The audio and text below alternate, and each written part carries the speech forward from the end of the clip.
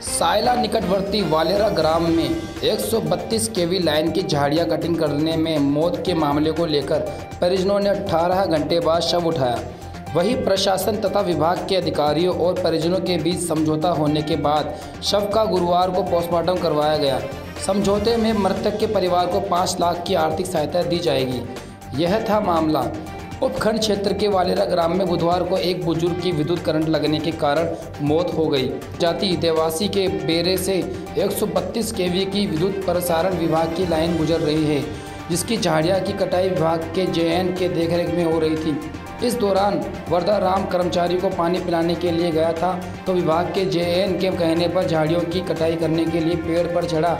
इस दौरान विद्युत लाइन का शटडाउन नहीं होने के कारण वर्धा राम की मौके पर मौत हो गई। Thank you.